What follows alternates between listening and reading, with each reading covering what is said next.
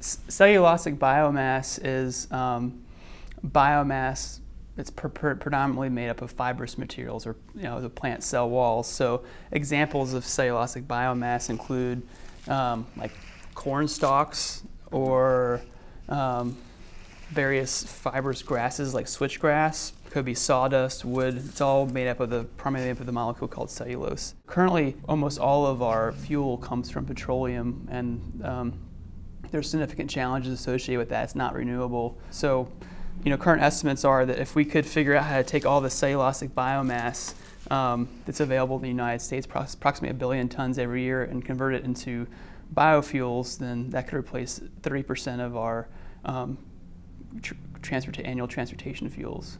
So the Great Lakes Bioenergy Research Center has the Research Experience for Teachers program where we get um, science teachers who spend seven weeks working in GLBRC labs doing hands-on research related to sustainable biofuels and then developing labs and classroom activities they can bring back to their students. Travis came and was a participant in our program. We worked together on this biofuels research and developing a lab where, where students could do the same process that GLBRC scientists are doing where they take cellulosic biomass sources and then trace the process of converting them into sugars and then ethanol.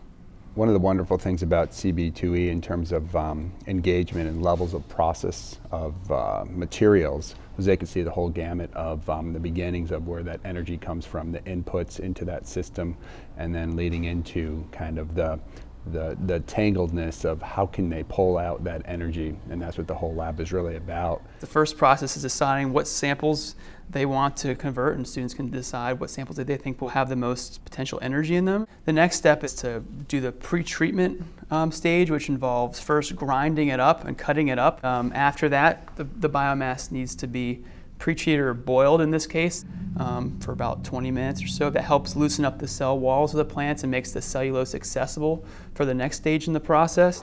Then you can add a cellulase enzyme to your samples. The cellulase enzyme then converts the cellulose and the biomass into glucose. And then finally, when you have the glucose in your tubes, you can add a small amount of um, just standard baker's yeast and then go through the fermentation process. And then throughout the process, students can measure both the, the matter and energy transformation, so both how much glucose is being produced at each stage, and you can use simple blood glucose meters to do that. Um, and then uh, at the final, final stage, um, students can measure how much ethanol they produce, and there's classroom grade ethanol probes that work really well for this purpose. One of the, the, the, things that first comes to my mind when you, you know, how were the students engaged? What, what were they doing? What was unique? Um, the fact that they all had legitimate choices that they made that made what happened over the next week and two weeks theirs. It, they owned it. Um, it wasn't something that was um, kind of put up, put on them. All right, you're going to investigate this process, and here's what you're going to do. It was all right. I want you to think about again your lives, how it connects up.